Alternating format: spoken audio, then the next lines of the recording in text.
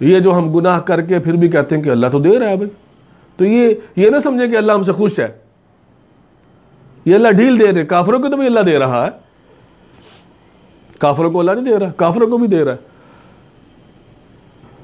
حضرت عمر رضی اللہ تعالیٰ عنہ ایک مرتبہ جناب نبی کریم صلی اللہ علیہ وسلم کے پاس حاضر ہوئے۔ نبی علیہ السلام بالا خانہ کے اندر تشریف فرما تھے۔ نبی علیہ السلام اٹھ کر بیٹھ گئے۔ اور حضرت عمر رضی اللہ تعالیٰ عنہ نے دیکھا کہ آپ کے کمر مبارک پر چٹائی کے نشان پڑے ہوئے کھجور کی چھال کی چٹائی۔ حضرت عمر رضی اللہ تعالیٰ عنہ رونے لگے۔ فرمایا، عمر کیوں روتے ہو؟ کیوں روتے ہو؟ عرض کی، یا رسول اللہ صلی اللہ علیہ وسلم، یہ اللہ کو نہ ماننے والے یہ کیسر و کسرا کے بادشاہ جن کے پاس پوری دنیا کے خزانے ہیں، جن کے پاس مال و دولت کثرت سے ہے، وہ اللہ کو مانتے بھی نہیں۔ اور آپ سید الانبیاء رحمت للعالمین، آپ کے پاس سونے کے لیے بستر بھی نہیں ہے، اس لیے میری آنکھوں میں آنسو آ گئے۔ نبی علیہ السلام کا چہرہ مبارک سرخ ہو گیا اور فرمایا انت فی شکن یا عمر؟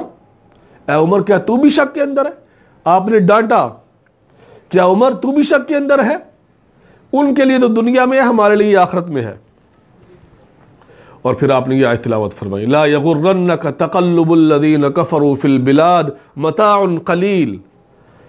ہرگز ہرگز تجھے دھوکے میں نہ ڈالے کافروں کا، شہروں کے اندر چلنا پھرنا، ان کی زیب و زینت، ان کا یہ کامیابی یہ کامیابی، عارضی کامیابی ہے، چند دن کی ہے۔ متاع قلیل۔ اللہ کہتے تھوڑا سا سامان ہے، تھوڑا سا۔ ثم مأواہم جہنم، پھر ان کا ٹھکانہ جہنم ہے۔ وبیس المہاد، بڑا ہی برا ٹھکانہ ہے۔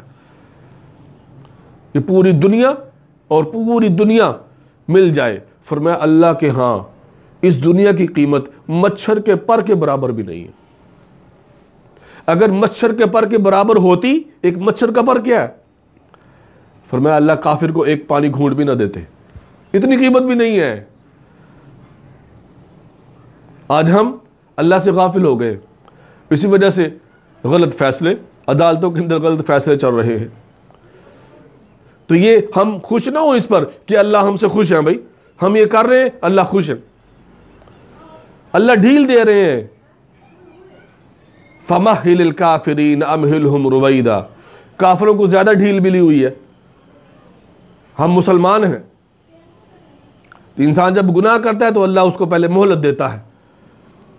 ایک نقطہ سیاہ لگتا ہے، اس کا دل جو ہے نا تھوڑا ملامت کرتا ہے اس کو، انسان کا ضمیر۔ ان النفس لامارۃ بالسوء۔ تین قسم کے نفس۔ ایحسب، نفس اللوامہ ہے۔ لا اقسم بن، لا اقسم یوم القیامہ ولا اقسم بالنفس اللوامہ۔